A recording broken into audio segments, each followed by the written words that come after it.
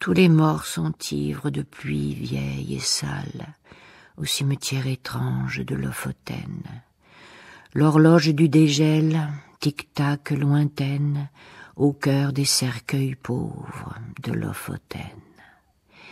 Et grâce aux trous creusés par le noir printemps, les corbeaux sont gras de froid, chair humaine.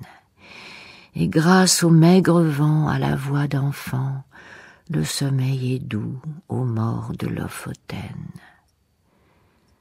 Je ne verrai très probablement jamais ni la mer ni les tombes de Lofoten. Et pourtant c'est en moi comme si j'aimais ce lointain coin de terre et toute sa peine.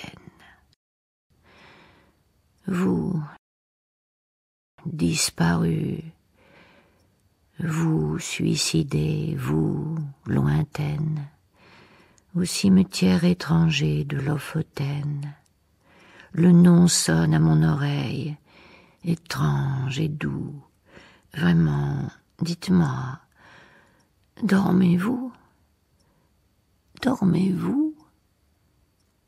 Tu pourrais me conter des choses plus drôles, le beau claret dont ma coupe d'argent est pleine, des histoires plus charmantes, ou moins folles.